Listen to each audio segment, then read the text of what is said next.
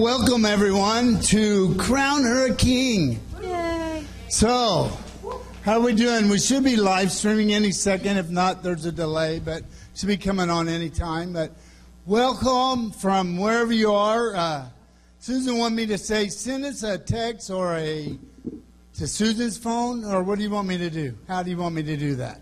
To the phone? Oh, here she got it. I'm a little ahead of her. I'm sorry. Okay, so are we live streaming yet? Yes. We are. Okay. We know that we have about 10 different states joining us live stream. So welcome everybody. We're glad you're here. We also have Jeannie Kunert in Costa Rica, and she's going to be doing the group and then hopefully doing it again this week in Spanish. So, yeah, so we're really excited about that. But there's a lot of people we know that are out there that are going to be live streaming, and we would love to know where you're live streaming in from. So if you would text 817 807 2246 and just text us your name and the city and state or the country that you're live streaming in from, we would actually, by the end of the 12 weeks, we would love to have all 50 states joining us. Let's take this country for Jesus, you know what I'm saying? right. So please, if you have friends and family after tonight, if you enjoy tonight, please let people know they can join us from anywhere in the world. We, and with today's technology, you don't have to be here, but we want you here. So let's pray and then let's get started. So, Father God, Lord, we thank you for you joining us most of all. That you are the one that created all of us and created all of this. So, Father, we thank you for that. Lord, now we just want to enter into your your gates. We want to enter into your presence, and we just thank you for that in Jesus' name. Go ahead, Victoria. Amen. Amen.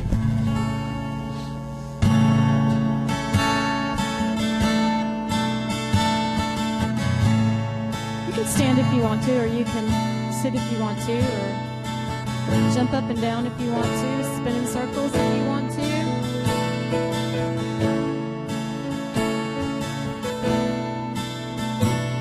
Well, I've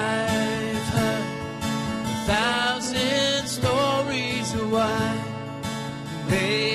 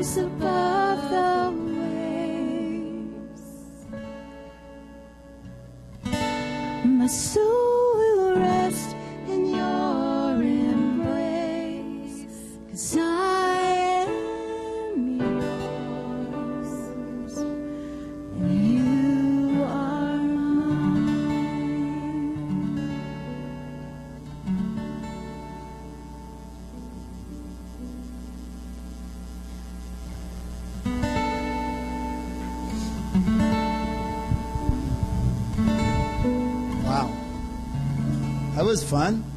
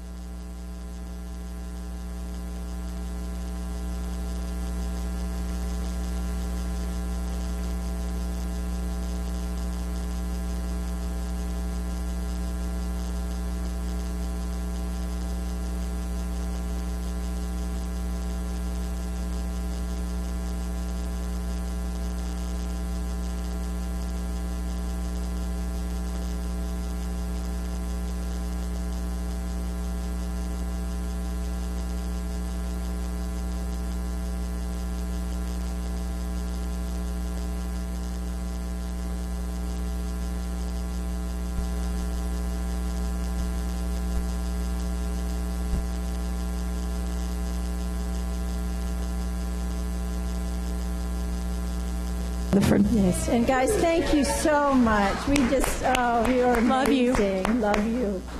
Oh, wow.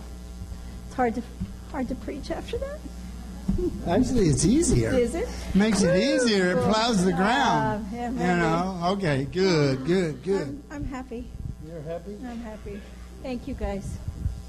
Thank all you guys for coming. Yeah, thank Yeah, you. give yourselves a hand. Woo. You know. Um, And speaking of people joining us, is it all right if I do the phone yeah. number? Yeah. You can do it again. If you weren't here the very first minute we started live streaming, um, we welcome you guys from all over the nation and Costa Rica that we know of.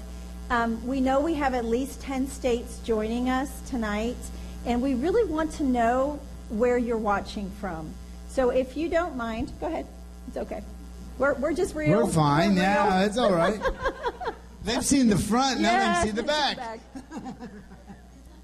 If you're watching from uh, live stream, if you don't mind, would you please text 817-807-2246 and let us know your name and the city and state you're watching from or the country you're watching from, just so we can get an idea of who all is joining us.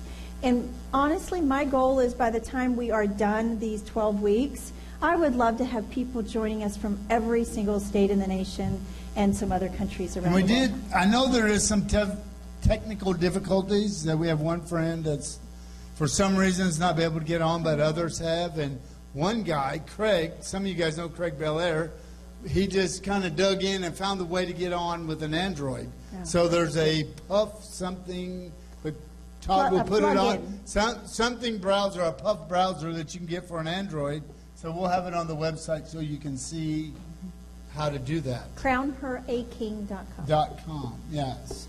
Um, you know, are you guys ready tonight to go on a journey?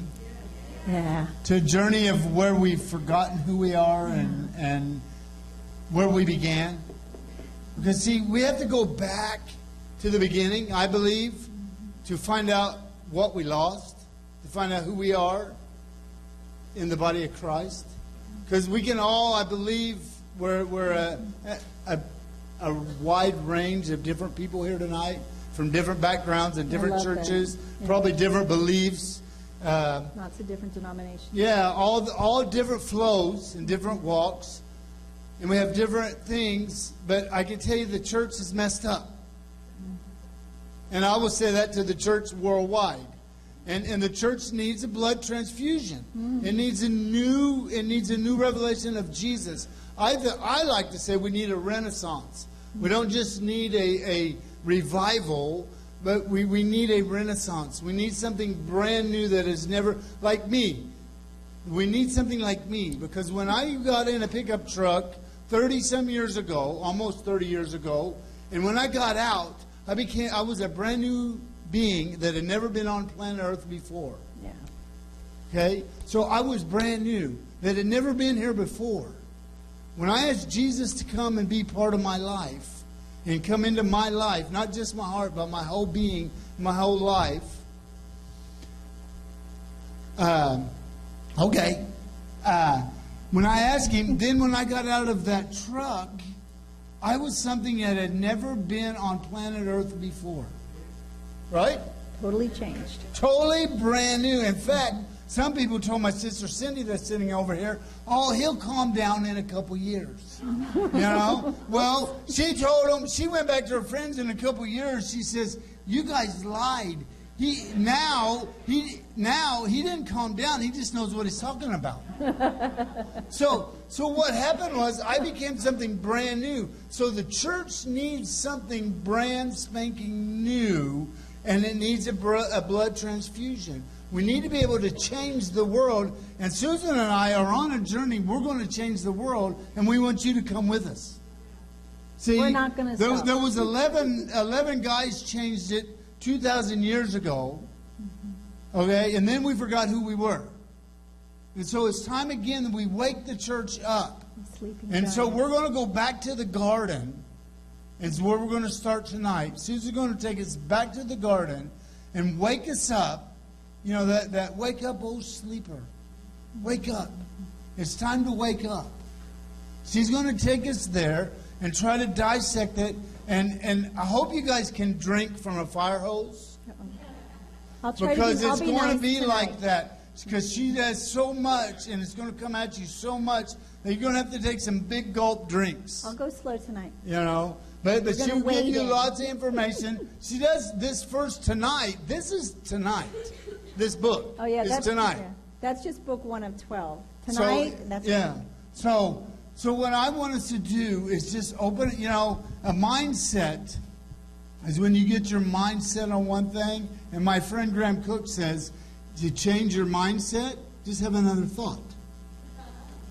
That's how you change it. Just have another thought. So it's time for us to have another thought so we can change our world. It's time to change our world. So I, let's pray. Put your hands on your head. Everybody put your head on your head. Father God, Lord, now we pray tonight that you would anoint our minds to mm. learn. yes. Father, we have given you our hearts. We're here tonight because you have our hearts. So now, Father, we give you our minds so that we can begin to, to learn. Father, somewhere we checked out and we get we just checked our minds out, but now it's time for us to learn about who you truly are in our hearts. Yes. So, Father, I thank you for that. We give you the glory and the honor in Jesus' name.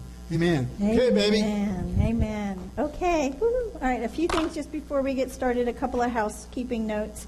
In your folders that you got tonight when you first came, if, uh, please bring them back with you. It kind of gives you a, a place to write, and there's plenty of room in here for all of the different weeks. Um, there is a card, an advertising card for the class. Please share it with somebody if you like tonight.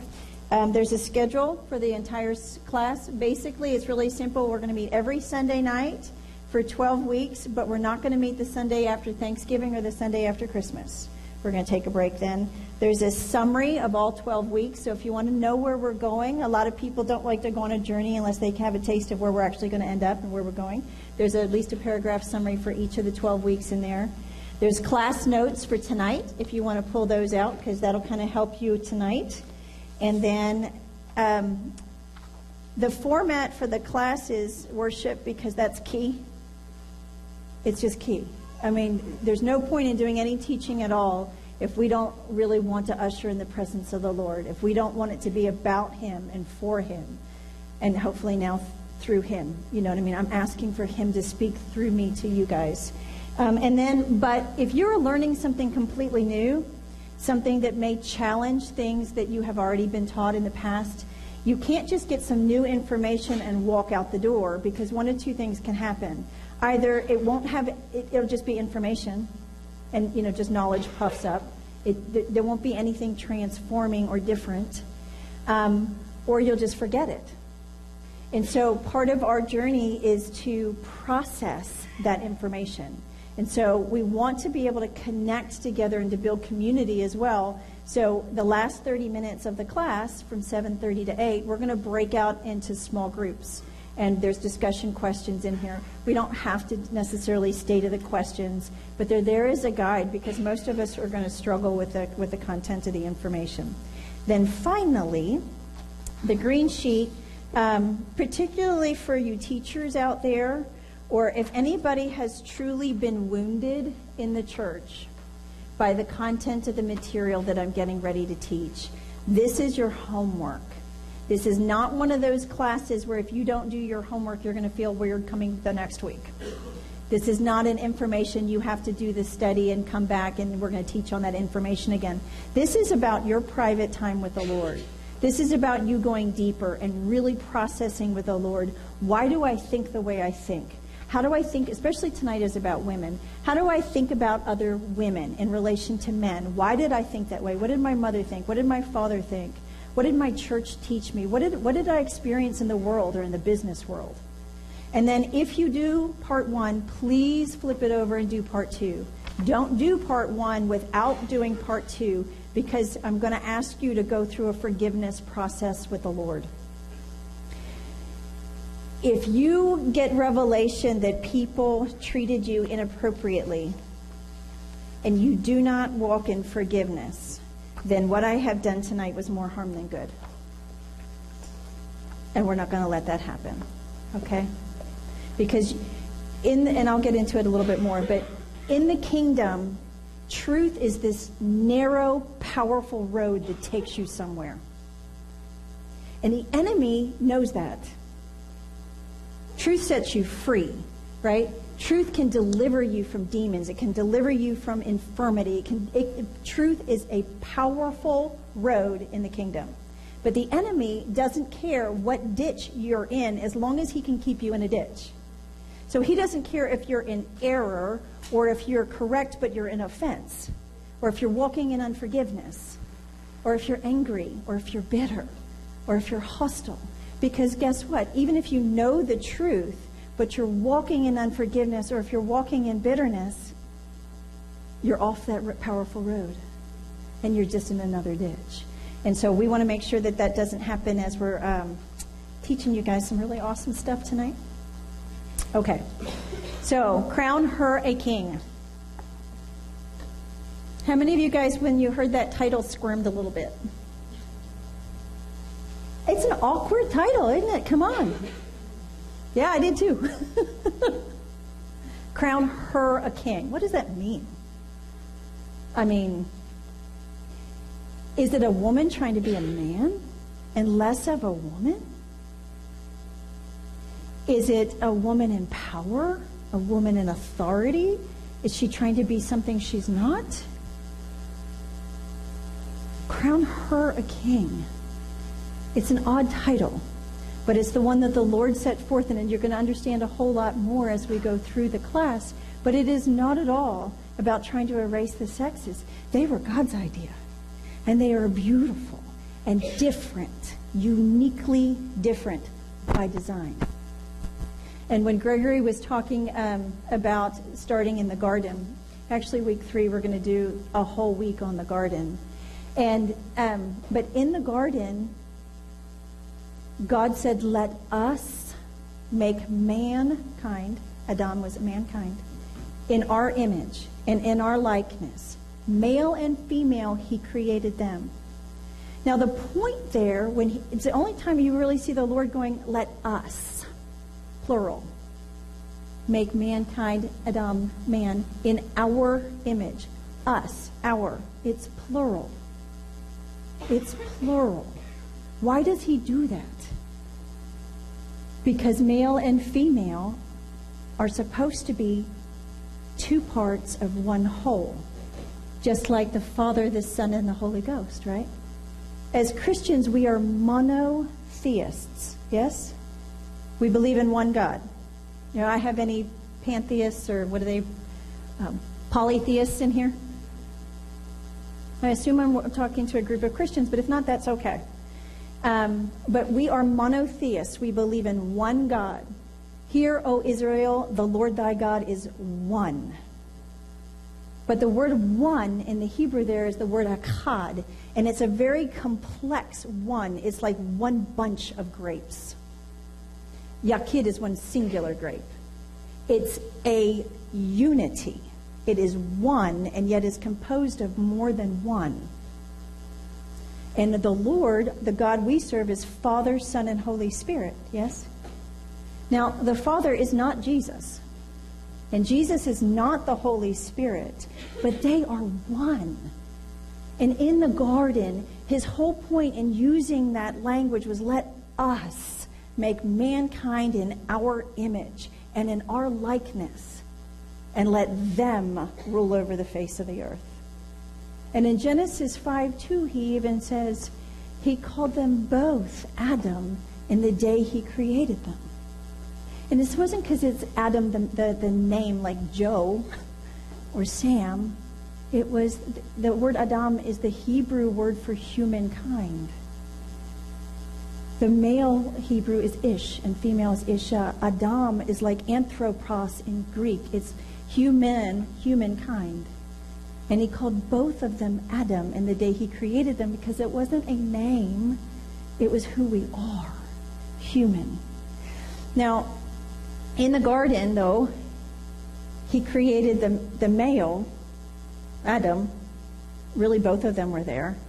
And he created everything in a very specific order. And after every single thing the sun, the moon, the stars, the plants, the animals, all of it then finally he creates the man. And it's the first time he says it's not good that man be alone. Every other time it was good. But now, because they weren't plural, it was not good that man be alone. And so he put Adam to sleep and he drew out the female side of Adam. And we'll go a lot of detail in week three of this because it gets very deep. But the idea is now they are male and female in his image, and now it is very good. Now it is very good because they are now plural. And they even say, but we will become one flesh. The whole point is to become one. Not so one that one is lost behind the other, right? But so they can have fellowship, so they can have communion, so they can have relationship. If one is hidden behind the other and unseen, unnoticed, unheard, she's not truly one with him. And so we're going to go into that a lot more, but that was the part of the garden I wanted to bring out tonight. Crown Her a King is not just about women, and that's where I want to make sure all the gentlemen in here understand. It is about restoring God's glory to the bride of Christ. It is about making her the king. We are we serve a God who is King of kings. We are all kings. Yes? And all of you gentlemen are the bride of Christ. Yes. It is not about and your son. I'm a son. Right. It's not about gender. But oftentimes, because the enemy wants, if our unity in the garden was where our power was going to come from, if that's how we truly are going to reflect God on the earth, then what do you think the enemy's main strategy is going to be? To get us to divide. And he doesn't care if we divide over the sexes. He doesn't care if we divide over race. He doesn't care if we divide over economic status. He'll get us to divide over theology, whether or not you believe in tongues or if he can get us to divide, he'll win. Right?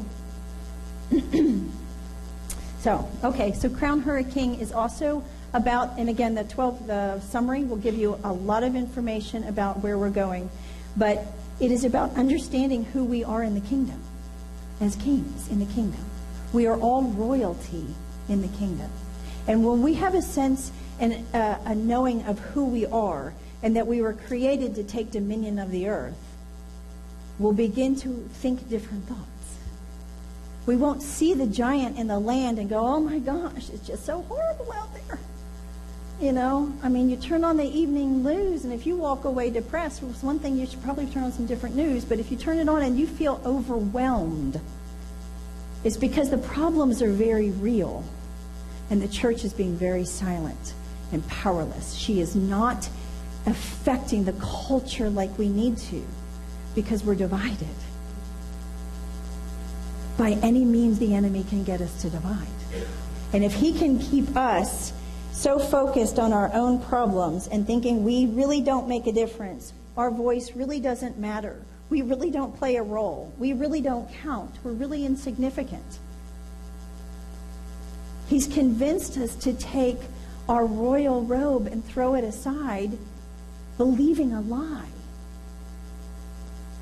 When the God of the universe lives on the inside of us and is calling us to wake up to who He is in us and who He has created us to be on this earth, and when we begin to understand that we bought a bunch of lies,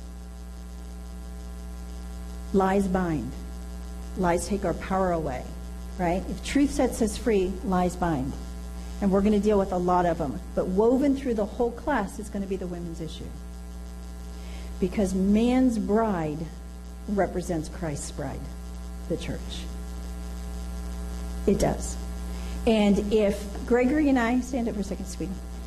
If Gregory and I are supposed to be one unit, side by side, taking dominion over the earth, and yet one of us is, our glory is veiled, our voice is silenced, we are broken. We're not operating at full capacity. Now, if I'm a car and half of the car, we are one unit. If we are a vehicle, if we're a car and half of the car is broken or not operating at full capacity, what happens to the car? It stops running. It doesn't do what it was created to do. It may sit, if it sits there, oh yeah, yeah, how about me? He doesn't matter. I'm in control. Come on, people, it works both ways. The enemy doesn't care which ditch you're in, right? As long as you're in a ditch. If you're manipulating, if you're controlling, if you're trying to usurp power, if you're trying to over control, doesn't matter what ditch you're in, because if the enemy can get you to partner with him and his thoughts, his kingdom gets established on the earth. He has no power and no authority of us whatsoever except for through our agreement.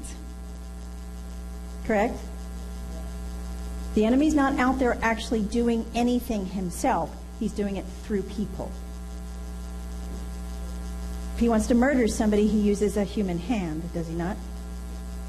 And God, in his sovereignty, has chosen to do the same. He owns it all. The Lord owns the earth. He owns it all. He could do anything he wants. But in his sovereignty, he has said, I will do nothing on earth except for through men. He said, The heavens belong to the earth, but the, ear- uh, the heavens belong to the Lord, but the earth I have given to the sons of men. When he wanted to bring mercy to a city, he said, I, I can't find anybody to stand in the gap and even pray. If he didn't have human agreement, it was like his hands were tied behind his back. No, he- can bring a flood and start it again if he wants to, right? I mean, the earth belongs to him. He is completely sovereign. But in his sovereignty, he has chosen to work through mankind. Right? So, how powerful are you? A lot more powerful than the enemy wants you to know. And what if two of you are joined together? How powerful is that? It becomes one can put a thousand, two can put ten thousand. It's exponential. And what if it was more than just Gregory and I? What if it was our whole family? And what if our family was joined with your family? Yeah, and we'll actually talk about that in, in week United We Stand, where we talk about concentric circles of relationship and how we're supposed to have healthy boundaries, but how we're supposed to fit together as living stones. We're one church, nationwide, universal, right? Doesn't matter your flavor of worship. We are one church. We are one body. And we are one bride who needs to be glorious, worthy of her groom. He's not coming back from a broken down, busted, disgusted bride who's waiting for her groom to show up and rescue her from this hellish existence on earth. But a lot of Christians pray like that. I'll fly away one day. That's not our assignment. It's not our assignment. In the garden, we were supposed to take dominion. God wanted to do it through one couple. When the world got so bad, there was only one family left, he started over, right? But he still was going to do it through people. So one couple, now one family, Noah's family. And that didn't work out so good. Eventually, we all just forgot him and started listening to the enemy again, empowering the enemy's kingdom on the earth. Look around out there. It's dark, right? The world is dark. It is evil. The wrong kingdom is winning. But it doesn't have to. All it all it takes is for one in the Bible, one person, right? One person could change the world. You take two, and oh my gosh, it's exponential. Then you take you go from Noah's family, then you go to Abraham and his tribe, the nation of Israel, right? And then those people were supposed to be a blessing to all nations so that all nations would worship the Lord. The plan for the garden never changed. God wanted to take that garden and spread it over the face of the planet. And that garden was a place that was different than the rest of creation. All of chapter 1, God is creating the natural universe the sun, the moon, the stars. He creates time, yeah, all of that. But in the garden, it's different. Chapter 2, it's almost like God's. You think, okay, did he just read chapter 1? Everything's out of order, right? In chapter 1, it was very specific order day 1, day 2, day 3. Well, in chapter 2, all of a sudden, wait a minute, the, the guy's being formed before there was shrubs. That's out of order. What's going on here? Something is different about chapter 2 because it's all about the garden. And the garden was a place where God physically walked with man. It was about his relationship with them and becoming family with them, and then them taking dominion over the earth, subduing the earth. The mandate hasn't changed. We're still supposed to do that, and we're gonna. And one of the ways we're going to do that is because we have to root out lies. And one of the biggest lies we have is in the church is that we have half of the bride is sick. No, actually, if half of your body is sick, you're all sick, right? If half of your organs are sick, you're sick. Yeah. So, um, in Crown King, the first place I want to start is giving you a little tiny bit of a background of how I came to the revelation that we're going to be learning over the 12 weeks. First of all, it didn't come in a moment. It was a 12-year journey.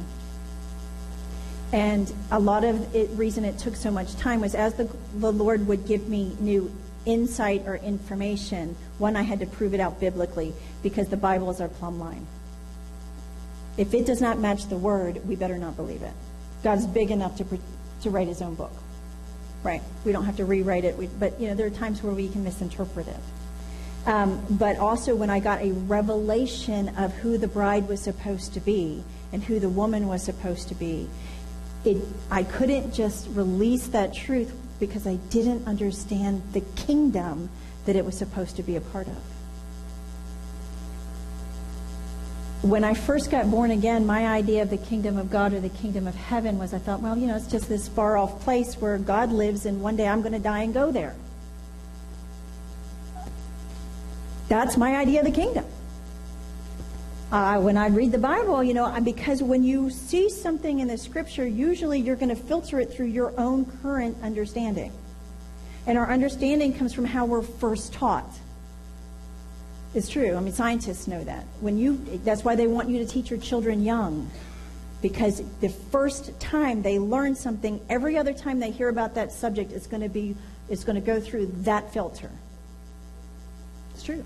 What your kids know about sex or know about God or whatever, it comes from what they learned when they were little. Well, when I was young, very young, I said the sinner's prayer. I was baptized. My mom raised me Christian. She's a spirit filled believer. But early on, I, I ended up in the world. Yeah, I didn't read the Bible. I didn't have a relationship with Jesus. You know, I didn't. So I had no theological understanding of who God was or who, what his kingdom was about. I didn't know any of it. All I believed you could have fit on a Hallmark card. I believed it. I would have argued with you that I was a Christian. I was your typical American Christian. I believe Jesus was born on Christmas and he died on the cross and he was raised on Easter. And you could probably fit all three in a manger scene, you know, put a little cross behind it and then the son in the tomb and, you know. Um, but that's all I knew. That's all I understood. Well, it wasn't until I was 35 that I had a radical, radical encounter with the Lord. And he set me on a path of learning about who this God was that loved me so much. Problem was, is not really a problem, it was a, a good thing. I was born again in a very fundamentalist church. Very fundamentalist. They did not believe in um, a lot of the things I believe now, um, like speaking in tongues or being filled with the Holy Spirit and stuff like that. But what they did believe in was this they believed this was the Word of God, and it is. They believed this was their plumb line. And the classes I would take, I was hungry for the Lord. I took every every class they had available all the time, just constantly in the Word, constantly just digging deeper. And it gave me such a love for the world Word. I, I, I am so thankful for the Bible education I got while I was in that church. Because later in seminary, those classes weren't even half as deep as the ones I had in that church. They were a lot of them were fluff. I'm serious. It was like they were lazy. but there were some things that I learned that I didn't really know how to process at first. In the world, when I was um, before I got born again, I was before I even had children, I was a manager. I was a leader. So it, it was okay for women to lead. In my generation, in some other generations, you didn't have it as easy you you know if you if you were widowed or divorced you were had a rough time because you were not going to be paid on your merit in the workplace because you were a female 100 years ago we couldn't even vote right? We couldn't own property. If a man was abusing us we had no right to divorce. In many cultures in many cultures still today. Because you're not free you're not a person. You're a belonging, maybe a little step above a belonging. But in my generation, that wasn't so. You know, in my generation, if you worked hard, if you were creative, if you were productive, if you were a leader, you were recognized and honored for your contribution, for your loyalty. But when I got in the church, it wasn't the same. At first, I was good with it though because I had decided right before I got born again, about two years before I actually no, uh, Ben was probably six or seven years old when my son was six or seven years old when I made a commitment to Christ. When I had him, I had a real dilemma because when I was in the world, in order to have value or to be able to have significance, you had to be a leader. You had to, you know, make a lot of money or be very successful. And I was, oh, that was okay with me. But when I got pregnant with Ben, I was going back to work until the day that kid was born. And I'm looking at this kid going, oh, Lord, there's something in here that says I can't just turn him over to somebody else to raise him. You know, I couldn't do it. And I had this incredible internal struggle going on because I felt like I had to give up who I was to go home and, and take care of this helpless being. And I, I chose to do it. I stayed home. But I was always kind of wrestling and struggling with who, I, who am I now? And do I really have any value? Is it really significant? Does it really matter? And when I got in the church, though, they really esteemed being a wife and a mother. They saw that as a good thing. They knew that you were forming a life and you were uh, forming the future. And so all of a sudden, okay, I do have significance. Look, we all were born for significance. There's nothing wrong with wanting to matter. You matter to God, and He created you to have an amazing destiny. It's part of who you are. Don't let the religion try to squish that down in you and say that it's being humble. Oh. He created you in His image, right? And He wants you to shine in the world. You are Jesus walking on the earth. Pardon me. But in the church, I learned, quickly learned though, I couldn't lead, I couldn't teach, I couldn't do anything because they, in this fundamentalist church, believed that women were not to have any position of authority in the church, or they were not allowed to uh, teach adult men. Period. And there's several scriptures that back it up. There's women shall keep silent in the church, for they are not permitted to speak. We're going to look at that one tonight. Women, uh, I, per- I permit not a woman to uh, teach or have authority over a man in 1 Timothy 2. And we're going to look at that one another night. So, as I'm processing with the Lord, I'm like, if this is your will, that's fine with me. Seriously. I was so radically born again. If Jesus wanted me to cover my head every day for Jesus, I would cover my head for Jesus. You know how there's, there's some denominations, you know, you wear the hat? I, if he wanted me to do that, my gosh, I would honor him like that. And if in, if in his economy or in his plan, I was created to be just a helper or to be second, I'm okay with that, honestly. I would be okay with that because in, I just figured he would make it okay. You know, sometimes what God does is not logical. And so, if I was to be second in God's economy, that would be fair and just somehow. So I just bought it. Just said, okay, that's what God says. I believe it. That settles it. Right? I mean, this is our plumb line. And then one day, I know it was early on in my walk because I was homeschooling at the time, and I got I had dropped the kids off from school, and I had gotten home, and I got out of my car, and I was walking around to go in the house. I rem- I can remember the moment it happened, and the Lord spoke to me, and He said, "Susan, why would I send Mary knowing they wouldn't believe her?" When God talks to you, sometimes there's just a few words, but it comes with a whole lot of knowing. You know, have you ever, have you ever experienced that? I mean, sometimes He doesn't give you a whole paragraph or a whole dialogue, but somehow you know the whole backstory. You know?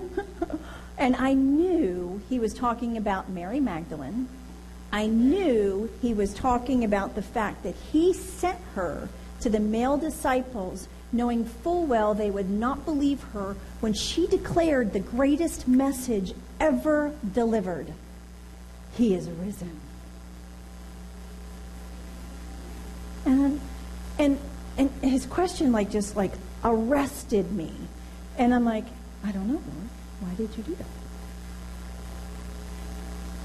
And so I'm thinking, well, I guess I got something wrong. So, you know, I'm this left brain analytical studier. And so I'm like, oh, we just got it wrong. So I go in the house, I get out my Bible, my concordances, my Greek lexicons, you know, I'm like, I'm just going to look up all of the verses that are prohibitory toward women. I'm going to open them up, I'm going to do some cross referencing and look up some Greek terms, and I'm just going to show how we got it wrong. That these verses couldn't say what they seemed to be saying. And the problem was, is they got worse.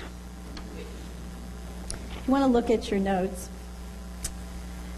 or you can open your Bible. Actually, if you could, if you brought your Bible with you, I'd love for you to see this in your own Bible. If not, we got it in the, on the blue sheet, or you can look on your phone or your your tablet. If you while you're uh, on live stream, if you guys click, there's a on the menu bar. There's a tab that says class materials. So if you have not already done so, you are welcome to click on that tab, and you can download the class notes and the group discussion questions and the homework and all that, and so you can follow along with us. 1 Corinthians 14, verses 34 through 36. The women are to keep silent in the churches, for they are not permitted to speak, but they are to subject themselves just as the law also says. If they are desired to learn anything, let them ask their own husbands at home, for it is improper for a woman to speak in church? Was it from you that the word of God first went forth, or has it come to you only? Now, as I'm studying that, of course, I'm thinking, I'm going to look up all these Greek words and see how we kind of mistranslated it. Well, the Greek word there for silent means no sound. No sound coming out of your mouth at all. None. And when it says they are not permitted to speak, it means they're not allowed to utter any noise out of their mouth in church at all, period. Period. No sound. No singing in the choir. No giving announcements. No teaching in the nursery. No teaching other women. No sound. Twice in that one verse. It's a double. No sound coming out of their mouth at all. And I'm thinking, oh, well, we don't do that. You know, we don't believe that they should teach men, grown men. We'll let them teach young men, young impressionable men who may not know if I'm teaching error, but we're not allowed to teach adult men who should know better. Okay, I'm thinking, okay, that doesn't make any sense. Um, and they are to subject themselves just as the law also says. Well, I couldn't find that in the law anywhere.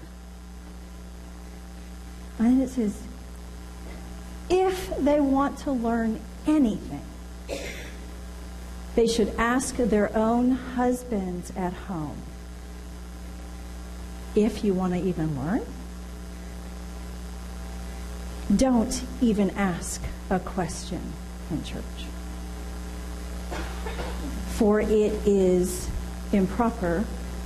The word there actually means disgraceful, filthy, shameful for a woman to utter sound in church.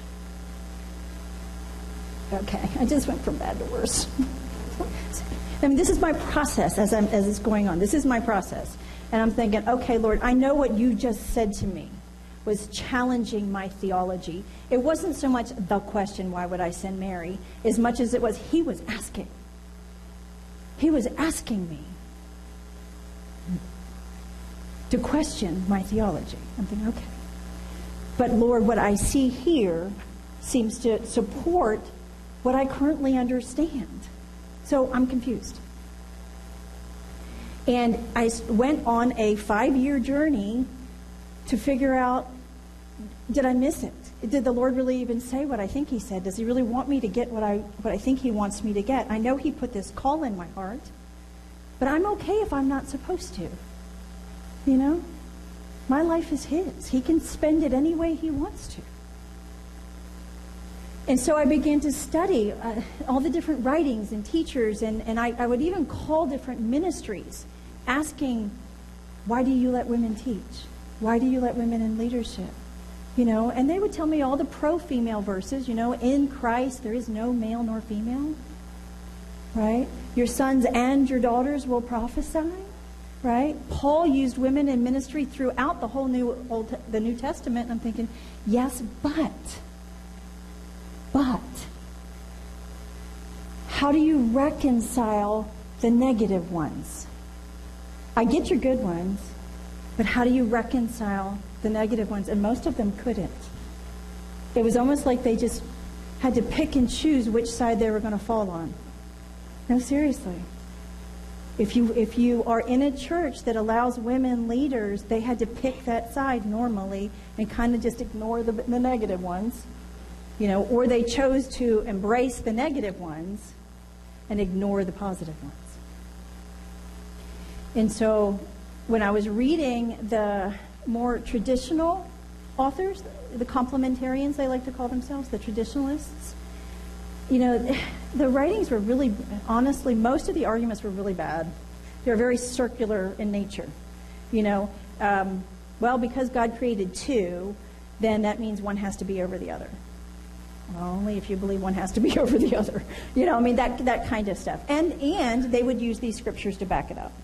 But then when I would read the ones that were very pro-female, ugh, that stuff didn't settle with me either. Most of it was uh, kind of feminist, like like we're mad, you know, they're wrong.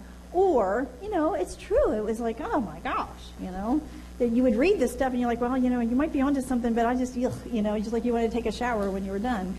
And and so I and some of them would even like just dismiss Paul's words, like, well, that was for the time, that was just for that day. I'm like, how do you selectively apply the Bible? But then I realized, oh, we were doing that in church anyway, weren't we? Because in the church that I went, I couldn't teach an adult man, but I didn't have to cover my head. Why not? 1 Corinthians 11 says I should especially if I'm going to pray or prophesy. Wait, how can you pray and prophesy and have a sound coming out of your mouth? And so, I mean, it was one of those, it was a struggle. And, and, and here's, here was the struggle I want to honor God.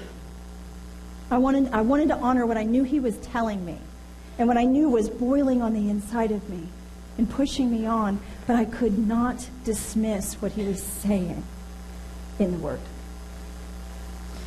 And so in 2006, I was visiting back east. I moved here from Maryland. And um, I, had a, I had a dream. I'm not a big dreamer. I don't normally remember my dreams. And I had this, it was very short, but it was very powerful. And when I woke up, I was like, my heart was beating out of my chest, and I was like shaking, and I'm so mad and so upset, and thinking, oh, I have no idea what just happened. But in the dream, um, in the natural, I had a pair of Dobermans, Priscilla and Aquila. Go figure. you know, the husband and wife powerful teaching team that's named in four New Testament books. And a lot of those times Priscilla's name was mentioned first. Um, because it was okay for her to teach. But I still didn't know, even by then, how, how free am I? You know, is there a ceiling? Is there a level? Is there some bar? You know, being female make something innate in us that's different or less than. And so in the dream, I was taking my, I had my female dog in this building. I don't know what it was. It looked like an institutional building of some kind. It was large. And I'm standing in front of a counter. And on the other side of the counter, there's a woman in a white lab coat, obviously part of the institution. I don't know who she was, but she was just this woman with a white lab coat. And I remember she had this, like, Stepford wifeish, oblivious, just smiling. Everything is okay and everything is fine. And yet, I had my, she had my female dog, Prissy, and I'm like, it's not okay. It's not okay. And her own clipboard, like I'm sitting there pointing at her clipboard, it's not okay. She has called E. She has called E. Like, it's catastrophic. And she's just like, everything is fine. Everything's okay. And I woke up. I'm thinking, okay. What does that mean? Lord, what in the world? Why am I so upset? Number one. And what does Chaldee mean? And, you know, I do my left brain analytical level, as you do. You know, and, you know, quickly learned that, or remembered partly too, and then was double checking that Abraham was called out of the Ur of the Chaldees, and Chaldeans, and Chaldee was the language of the Chaldeans that Abraham was called out of. I'm like, okay. So what does that mean? What is so bad about Prissy having Chaldee? Why was I so upset? Why was the lady oblivious to the problem? And you know when a dream just stays with you and it like haunts you and you know God wants you to get something and you have no idea what it is. And so I went to uh, my friend's house, Frank and Dwana Brizzi, who I hope are live streaming. They were having trouble connecting um, in Maryland. And I was just talking to them about the dream, hoping they could help me interpret it. And another friend there named Kelly immediately said, Pris- Priscilla means Christian woman. And I was like, oh, yeah. I mean, you know how you just, something resonates in your spirit and you know, okay, that's it, okay? Priscilla means Christian woman. So Priscilla has Chaldee. Well, what does that mean? And you know, honestly, we we talked and we studied and we did some stuff, and I, I got no further revelation. so I come home from the trip, and I sign up coincidentally. You know how God is. I signed up for this class called God's Release of Women from Christian Leadership University online, and the information about the the um, universities on your notes. Uh, Mark Virkler, have you, anybody here know um, Communion with God, Hearing God's Voice, the book Dialogue with God? Oh, yeah, he changed my life. Um, but I didn't know that at the time. and so um, I was signing up for this class, God's Release of Women. And early on in the class, early on in this class, I learned that many of the anti female sentiments that we learned and that the Jews had part of just their culture had been codified while they were in captivity in Babylon. And I was like, okay. So the Jews, by the time Jesus was walking the earth, the Jews would actually wake up every morning as their ritual, the men, and pray, Lord, thank you that you have not created me a dog, a woman, or an ignoramus. This was their daily morning ritualistic prayer. They also had um, in the, the, the writings um, the Ten Curses of Eve, where you were not permitted to speak to a man in public, even if he was your husband. It would be shameful and disgraceful for you to do that. You were to cover your head like a mourner. And when the Jews were exiled out of Israel, there's a, a, a map on your, your notes. I have a bigger version of it here. When the Jews, here's Israel along the Mediterranean Sea. when the Jews, when the Babylonian captivity took over, and the Jews were exiled out of their homeland and departed into Babylon, they got this great idea to write down their oral traditions so they wouldn't lose them as a culture. So, in other words, they could remember how to stay Jewish no matter where they were. That's a great plan, really. Later, we find that, you know, fast forward after Christ's day, you know, we know that they lost their homeland for 2,000 years, but they remained Jewish no matter what country they ended up in because they'd learned how to stay Jewish by repeating their cultures and their traditions. Well, by this, by when, this time, when they were exiled into Babylon, they be, this is the first time they're really organizing and writing down these oral traditions and codifying them. They're making them like law. And a couple of years later, as hi baby, this is Caden, everybody. Everybody say hi, Caden. hi, baby. Um, as as um, so he's so cute. So, as the Jews are in Babylon, they're writing down their oral traditions and they're codifying them. Jesus walks the earth about 500 years later, and by now, these oral traditions are at equal par with the scriptures in that culture. Right? When Jesus goes to the Pharisees and he says, Your traditions are rendering the word of God of no effect, of no power. Those traditions he's talking about are all of these rules and regulations and stuff they've heaped on the people because they're, they're placing their traditions at equal level to the scriptures. And he, he was telling them, you're doing that and it's rendering the word of God of no effect. When you add something that's not true to the truth, it's not true anymore. If you take water and you add it to your gasoline, your car's not going to run anymore because you've mixed something into it that makes it of no effect that makes it renders it void of power. And so when you mix stuff into the truth, the truth loses its power. And that's why through Crown Her King, we're going to unearth a lot of lies because when you mix them with the truth, the truth doesn't have that power anymore. Right? So what amazed me about this was the Lord showed me that all of those oral traditions that were being written down and codified were written in the ancient language of Chaldee in Babylon. And in that particular map, you can see that Chaldee actually, the Chaldean region actually later, uh, actually, it, it was then, the capital, the capital, the stronghold, the citadel of the Babylonian Empire was right there in Chaldea, in Susa. The stronghold was in Susa, in Chaldea. So what God was telling me in the dream very clearly was Christian women had been poisoned with the doctrines of man that were not his will. They were the traditions of man, they were not his will. And I'm thinking, oh my gosh, that kind of changes things, doesn't it? But how do I deal with this? Again, I'm, I'm learning all these things that kind of support the cause that's pro female, but what about this? You have to come back to the Bible. You cannot discount the Bible. I'm not one of those ones that's going to throw it out. Well, it doesn't fit my theology, so we're just going to brush by that one. That's a hard one. Well, Crown Her King is going to deal with a lot of hard ones. And so I want to I want to save us some time for group questions, but we need to finish this verse. So as I'm taking this class, God's Release of Women, with Christian uh, Leadership University, I began reading a book by Joanne Krupp.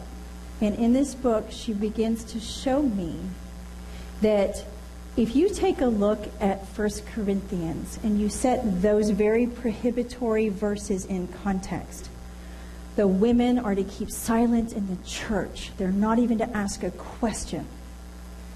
If you look at chapter 12, chapter 12 is all inclusive. Everybody has a part. Uh, you know, it takes all of us to be a body. Not, we're not all an eye, we're not all an ear, we're not all a foot, we're not all a hand, but we're all necessary, right? That's all of chapter 12. We're all necessary. Chapter 13 is the love chapter and how we treat one another, right? And we defer to one another. Chapter 14 talks about all these amazing spiritual gifts and that we're all to prophesy. We're all to have us bring a song or bring a word, and we just need to do it in order. But the whole context is all inclusive, all inclusive, all inclusive. And then in verse 34, it's like Paul does this screeching 180, but not the women. And okay. But verse 36 starts with a disjunctive participle. If you want to flip on page 2. As I'm learning in this class, I didn't know before, but verse 36 starts with the disjunctive participle, which is a little tiny e in the Greek with a line over it, and it has the effect of a strong repudiation for what was previously stated. And I put a quote in here by Gilbert um, Bilezikian. He's an author and theologian. And it says Recent scholarship has called attention to the disjunctive force of the participle e in, that introduces verse 36. It has the impact of an emphatic repudiation of what preceded, precedes it. A colloquial equivalent, such as nonsense, would come close to rendering the break between the prohibition statement in verses 33 and 35 and Paul's response to it in 36. Verse 36 and should start with like nonsense. Now, if you look down at the right below that, I have the, the King James version starts with what? Question mark? What? Did the word of God come from you only or is it for you only? The Revised Standard Version says, What? with an exclamation point. What? Did the Word of God come from you only, or is it for you only? All inclusive, all inclusive, all inclusive. What? But not women. And he goes, Nonsense. Nonsense. Was it for you only? And all of a sudden, you have this new filter, this new, oh my gosh, why didn't we see that before? How could we have missed it? It's right there. It's in black and white. It's in the Bible. Because we see what we expect to see. We see what we already believe. When we read in Luke that we should hate our mother and our father and our brother and our sister or even our spouse to be worthy to be his disciple, do we have, uh, you have to hate your family rule in church? Anybody go to a church like that? No. Why not? It's in the Bible. Because we know that's not God's heart. We know that's not God's heart, so we don't trip over that one. Nobody taught us when we were little we needed to hate our family to love God. Now, God's saying in those verses, don't let them be idols to you. Don't put them before me. You need to love me so much that they're not, the enemy cannot use them to trip you up. Right? So we can interpret that pretty easily because we have a filter that didn't expect God to say we have to hate our family. Sadly, though, most of us were raised with a filter that says women have to be second. They have to be less than, and in some cases, they have to be silent. Or if not completely silent, depending on your culture and your flavor of your denomination or whatever, we'll put some bar on there somewhere. Right? So we're going to deal with some of the other scriptures that are real tough later. But this one, 1 Corinthians 14. Do you believe God was saying women should not have sound coming out of their mouth in church? Are you sure? Why? Nonsense. Good job. Paul himself said no. So, Lord, forgive us for reading into your scriptures what we wanted was there. The enemy wants us to divide. He wants us to have power struggles where we're going to try to rule one another. And we'll deal with that more in, in weeks to come. But I want us to have time to break out in groups. So let me set a couple of quick ground rules, and then we're going to quit live streaming because we only have a little bit of time for our breakout groups. You can say it.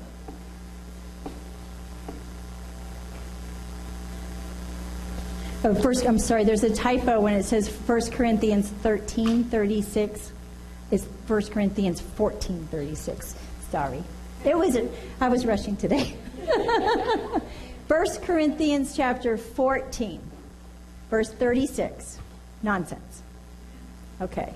On the group discussion questions. Um, we are going to be dealing with a lot over the 12 weeks. So I want us, when we break out into groups, to stay with the material that was taught during that week. I only gave you one real verse tonight, right? I, I, didn't, I didn't do the whole fire hydrant thing, fire hose thing. Um, it, but I do want to honor our time with people. So, um, groups, you guys are welcome to um, handle it any way you want. I do want the people in your group, though, to honor your time. It's a Sunday night, and we know people have to go to work tomorrow. So, um, as you're sharing your thoughts and your experiences, um, please keep it brief and to the point. You can process more with the Lord when you go home, and that's what the private time questions are for. And leaders, the questions are just there as a guide. You are welcome if the Holy Spirit's leading you down a different path, as long as it stays with the content of the material. You're free to do it any way you want. So, all right, everybody, would you um, say goodbye to our 10, at least 10? Bye, guys. We love you. We'll see you next Sunday. Anything? Oh, yep, you can do that, and then I want us to break out. No, go ahead. That's fine. Uh, if we're still, Colin, are we off? Are we on? We're on. okay, go ahead. We're sweet. You going to do it on live stream too? Sure, that's fine. Yeah. Well, we're just going to let everyone know, and even on live stream, there is a donut, a donut. A donut. I must be Right, hungry. you can tell I've eaten a few. There's a, uh, a donate page, not just a, a, a uh, donut, donate button, but there's a page you can click out of the video.